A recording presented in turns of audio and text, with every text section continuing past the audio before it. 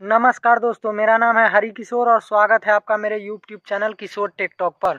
दोस्तों, आज की इस वीडियो में मैं आपको बताने वाला हूँ कि अगर आपको किसी भी सिम को एक से दूसरे कंपनी में पोर्ट कराना है तो पोर्ट मैसेज भेजने के लिए आपको कितने का रिचार्ज करना पड़ेगा? चाहे एयरटेल आइडिया वोडाफोन जियो बी चाहे आपका कोई भी सिम है जिसको आपको पोर्ट करना है तो उसको पोर्ट एसएमएस भेजने के लिए आपको कितने का रिचार्ज कराना होगा? क्योंकि अभी 2022 के शुरुआत में ही जो पोर्ट एसएमएस भेजने का जो प्लान था मतलब जो आपको अनलिमिटेड प्लान रिचार्ज करना पड़ता था, उसको अब सस्ता कर दिया गया है।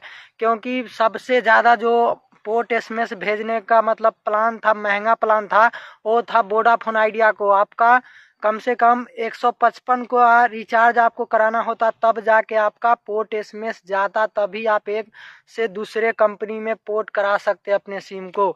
इसलिए जियो ने कंप्लेन कर दिया वोडाफोन आइडिया के ऊपर कि ये बहुत ज़्यादा हाई प्राइस पे पोर्ट एसएमएस इनका जाता है, बहुत महँगा प्लान रिचार्ज कराना पड़ता है। तो ऐसे में ट्राई ने सबका जो पोर्ट एसएमएस मतलब जाता था, बहुत महँगे प्लान से रिचार्ज कराना पड़ता था, तब जाके तो अब उसको बिल्कुल सस्ता कर दिया गया है। तो मैं बताता हूँ कि आपको कितने कितने का रिचार्ज कराना होगा तो आपका पोर्ट एसएमएस जाएगा, चाहे आपका sim, Airtel, Idea, Vodafone, Jio B किसी का भी हो।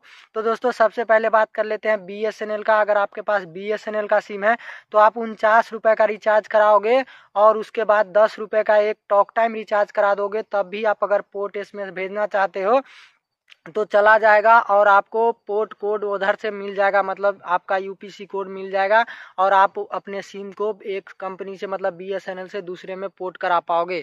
उसके बाद दोस्तों वोडाफोन आइडिया का बात कर लेते हैं। पहले आप 155 का अनलिमिटेड प्लान से रिचार्ज कराते, तभी आप पोर्ट एसएमएस भेज कर सकते थे, लेकिन अभी आप सिर्फ़ उनचास के रिचार्ज कराओगे तो आप पोर्ट मैसेज भेज पाओगे और अपने सिम को दूसरे कंपनी में पोर्ट करा पाओगे।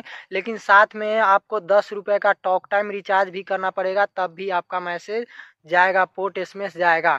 तो अब जो सबसे महँगा था वोडाफोन आइडिया का पोर्ट एसएमएस भेजने वाला प्लान, अब सबसे सस्ता कर दिया गया है। आप पोर्ट एसएमएस सबसे सस्ते रिचार्ज में आप भेज सकते हो। तो दोस्तों, चाहे आपका सिम वोडाफोन और आइडिया का हो तो आप उनचास का रिचार्ज करा लेना, उसके बाद दस का रिचार्ज करा लेना और आप पोर्ट एसएमएस भेज लेना। उसके बाद आप पोर्ट करा सकते हो। उसके बाद दोस्तों बात करेंगे एयरटेल के सिम में तो आप निन्यानवे का रिचार्ज कराओगे तो पोर्ट एसएमएस चला जाएगा। आप पोर्ट करा सकते हो अपने एयरटेल सिम को, दूसरे में करवा सकते हो। उसके बाद बात करते हैं जियो की। तो दोस्तों जियो का अगर आप स्मार्टफ़ोन में अपना सिम यूज़ कर रहे हो तो कम से कम आपको एक सौ उन्नीस का रिचार्ज करना पड़ेगा। तभी आप पोर्ट एसएमएस भेज सकते हो और जियो के सिम को दूसरे में पोर्ट करा सकते हो। लेकिन दोस्तों, अगर आप, आपके गाँव में कोई भी अगर जियो फ़ोन वाला है, जो छोटा जियो का फ़ोन यूज़ करता है, उसमें आप अपना स्मार्टफ़ोन वाला सिम लगा दीजिएगा। और उसके बाद उसमें सिर्फ़ पचहत्तर रुपये का रिचार्ज कर दीजिएगा तो उससे पोर्ट एसएमएस चला जाएगा। क्योंकि जो स्मार्टफ़ोन का सिम है, अगर जियो फ़ोन में यूज़ हो रहा है तो उसमें जियो फ़ोन वाला प्लान काम करेगा। लेकिन स्मार्टफ़ोन में है तो स्मार्टफ़ोन वाला ही प्लान काम करेगा तो आपको कम से कम एक सौ उन्नीस का रिचार्ज कराना पड़ेगा, तभी आप पोर्ट एसएमएस भेज सकते हो। लेकिन दोस्तों, याद रखना, सबका कंडीशन एक ही है कि आप ये रिचार्ज जो कराते हो ना, इससे सिर्फ़ पोर्ट एसएमएस भेज सकते हो और आप अपना सिम पोर्ट करा सकते हो। और आउट गोइंग मैसेज कुछ भी नहीं जाएगा इन सब रिचार्ज पे। तो ये बात आप ध्यान रखना, लेकिन अगर आपको सिम पोर्ट कराना है तो सारे प्लान सस्ता कर दिए गए हैं। ट्राई ने सबको आदेश दिया कि सस्ता कर देने के लिए।